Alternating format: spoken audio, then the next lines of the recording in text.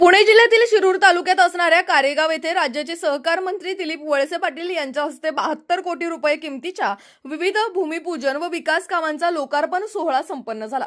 यावेळी माजी आमदार पोपटराव गावडे मानसिंग भैया पाचुंदकर पाटील शशिकांत दसगुडे विश्वास आबा कोहकडे राजेंद्र जगदाळे पाटील प्रदीप वळसे पाटील राजेंद्र गावडे चंदन सोंडेकर सरपंच निर्मला नवले उपसरपंच तुषार नवले उद्योजक शुभम नवले शहाजी तळेकर अजित कोहकडे संदीप नवले नागेश शेलार शीतल नवले जयश्री कोहकडे रुपाली गवारे वनिता कोहकडे व आजी माजी सरपंच उपसरपंच आजी माजी पदाधिकारी तसेच ग्रामविकास अधिकारी किसन बिबे व ग्रामस्थ बहुसंख्येने उपस्थित होते.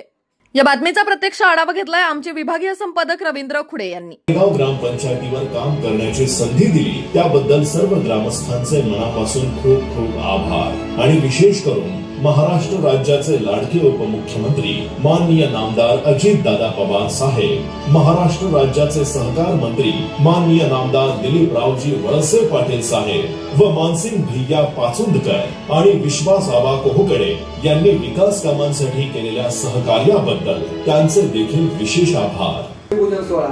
खऱ्या अर्थाने यांच्या माध्यमातून या ठिकाणी ज्याच्या शुभ हस्ते संपन्न होतोय ते आपल्या सगळ्यांचे नेते विधानसभा मतदारसंघाचे भाग्य विधाते पुण्याच्या एका मनापासून सहर्ष स्वागत करतो. धन्यवाद.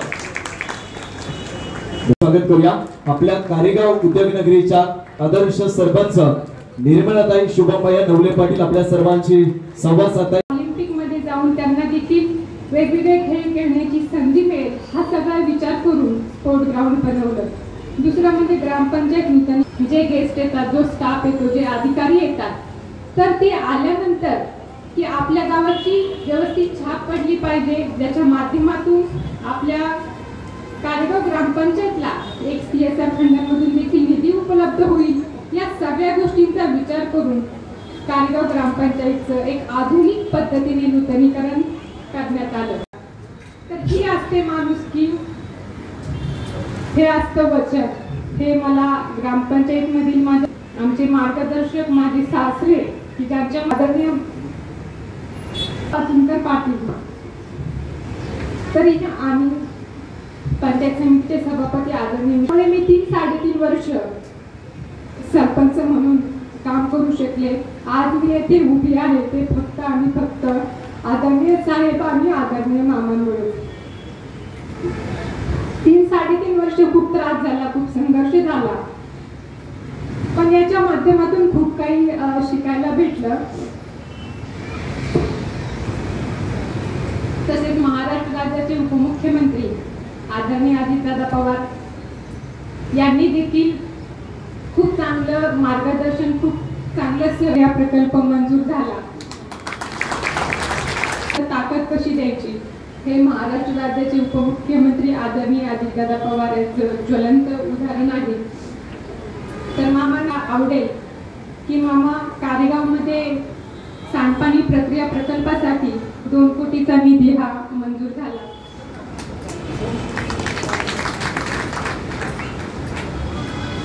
तुमचे आशीर्वाद असतील. आणि तुमच्या आशीर्वादाने मी संपूर्ण महाराष्ट्र राज्यात आज मी सरपंच पदाचा राजीनामा देत आहे आणि गवारी कुटुंबियांना यापुढे संधी देत आहे.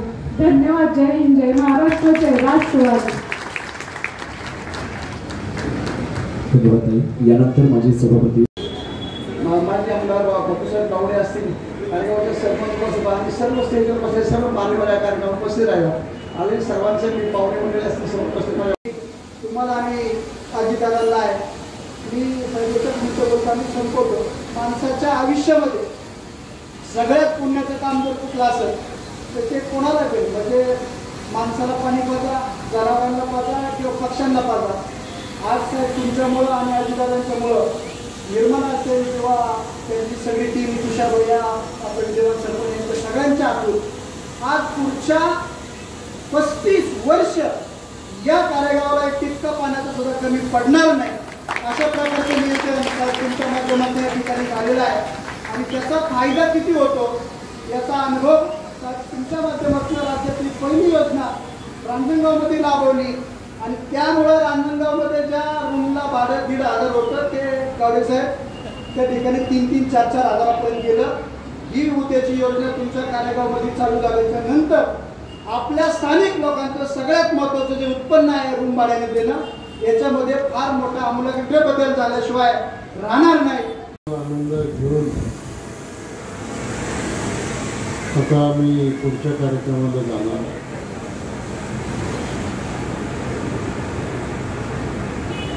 खरं तर एक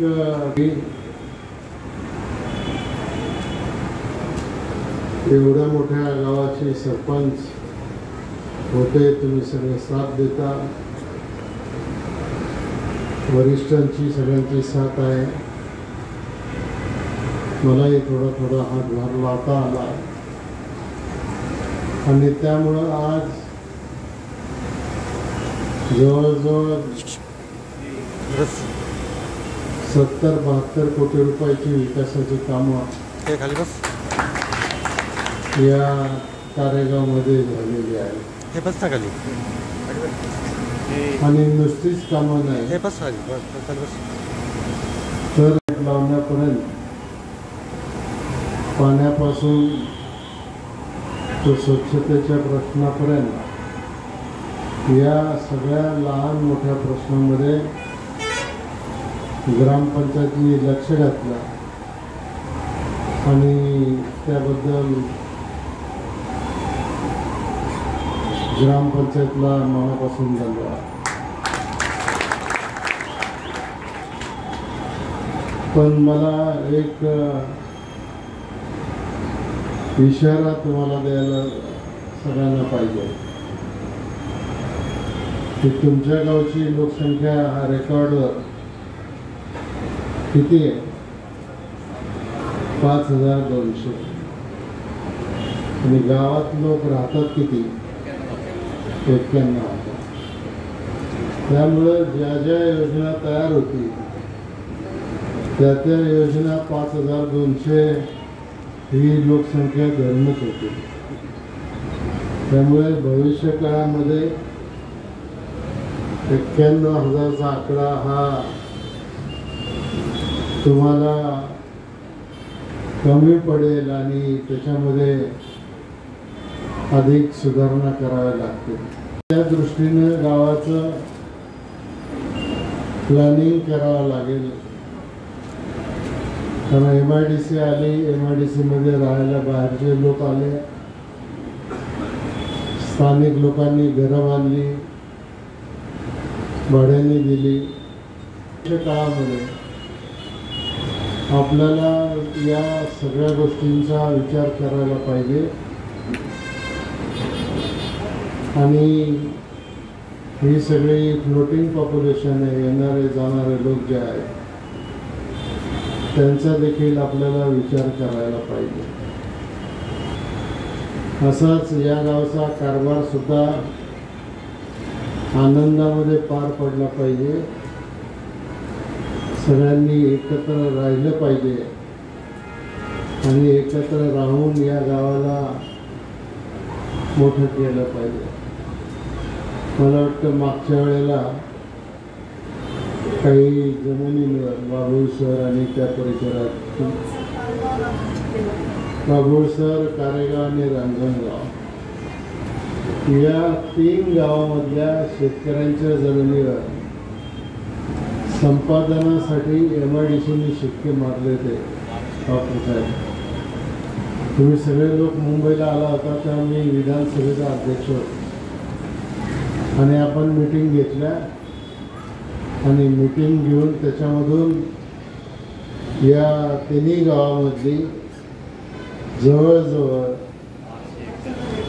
बाराशे बाराशे हेक्टर बाराशे हेक्टर. म्हणजे साधारणतः तीन हजार एकर.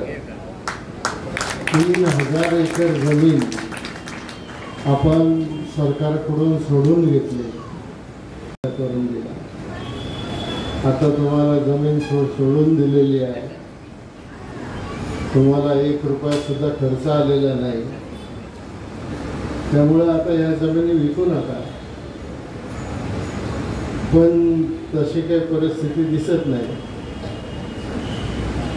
म्हणजे काही लोकांनी जमिनी एम आय डी सीकडून रिकाम्या झाल्यावर लगेच त्याचं मूल्य ठरवलं आणि बाजारात जाऊन द्यायला पाहिजे त्याला ती विक्री करून टाकली. आता गावाचा विस्तार करायचा ठरला आणि जमीन घ्यायची ठरली तर तुम्ही काय करणार याचा हा खरा प्रश्न आहे. आणि तो प्रश्न सोडवण्याचं काम तुम्हाला करायला पाहिजे. एम आय डी सीमध्ये त्याच्यामध्ये एम आय डी सी झाली. जमिनी आपल्या गेल्या. शेतीचं पाणी आपलं गेलं. पण जम त्या ठिकाणी फॅक्टरी चालू झाल्यानंतर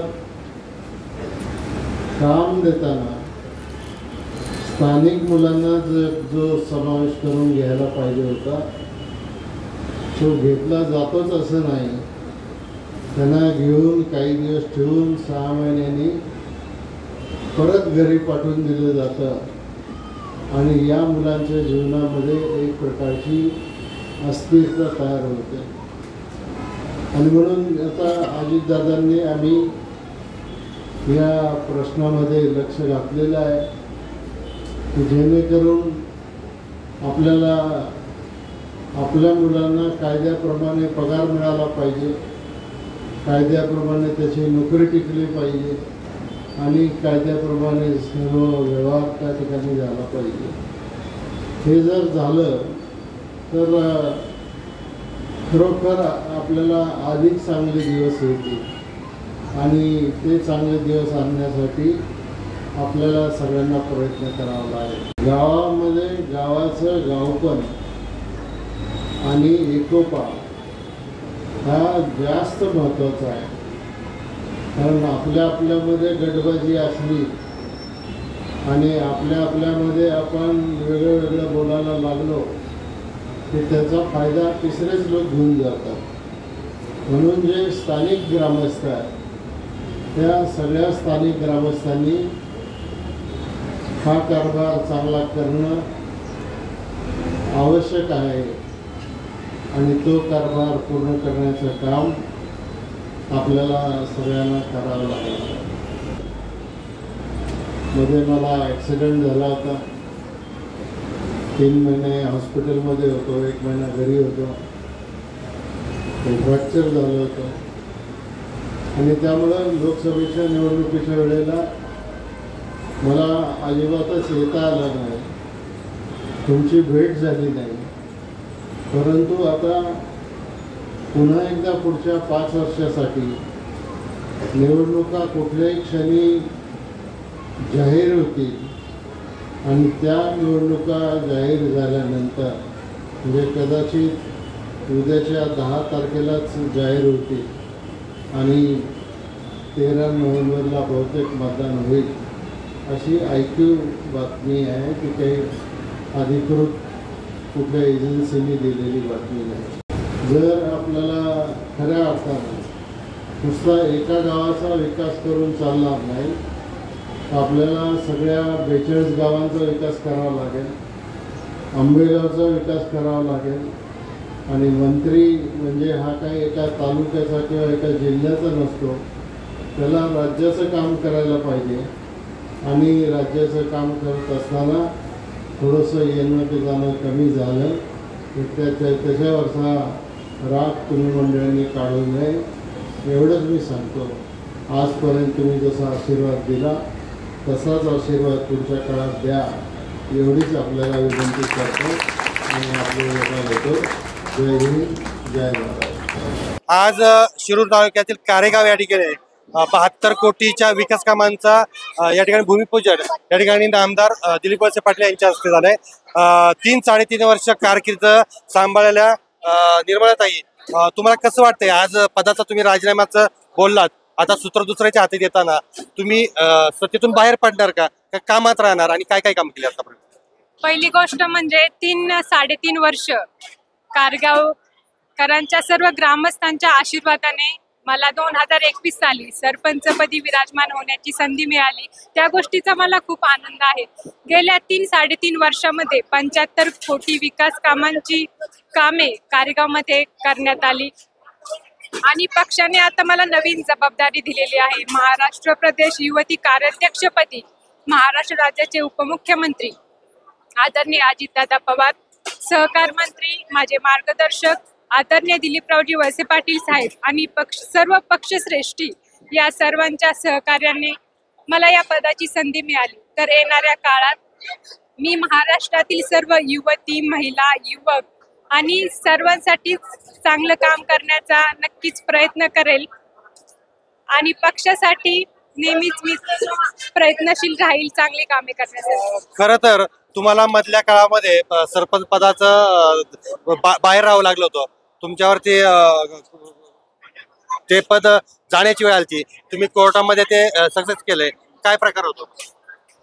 मी सरपंच झाल्यानंतर गेल्या आठ दिवसामध्ये मला माझ्यावरती माझ्या विरोधकांनी केस दाखल केली. त्यानंतर जे कलेक्टर होते तर त्या कलेक्टरांनी माझ्या विरोधात निकाल दिला. त्यानंतर ती केस आयुक्तांकडे होती. आणि हायकोर्टामध्ये मला स्टे भेटला. तर आयुक्तांनी माझ्या बाजूने निकाल दिला. त्यानंतर देखील विरोधक काही थांबले नाही. ते पुढे गेले.